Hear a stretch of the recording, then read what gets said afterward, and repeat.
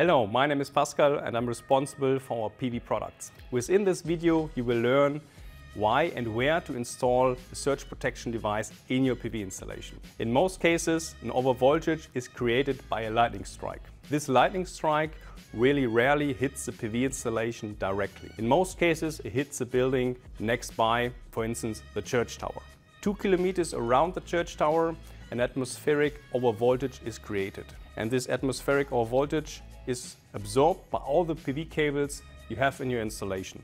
And these cables transfer the overvoltage in the direction of the string inverter or to the inner part of the building. And there it causes severe damages to the electrical devices within. And that can be frustrating and expensive. But how can it be done better? With these little surge arresters. The issue had also been detected by the European Union and each of the member states. And in several regulations, it's an obligation to place a surge protection device in a PV installation. Now the question is where to place the surge protection device. The perfect place is to place it there where the string cables are entering into the building.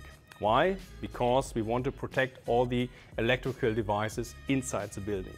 According to the EN 51643-32, it's an obligation to place a second overvoltage protection device when the cable length between the modules and the string inverter is more than 10 meters. And the second device can be placed before the string inverter, but also inside the string inverter. That's in the short. If you like to learn more, visit our FAQs, our fact sheet. We have placed the link below this video.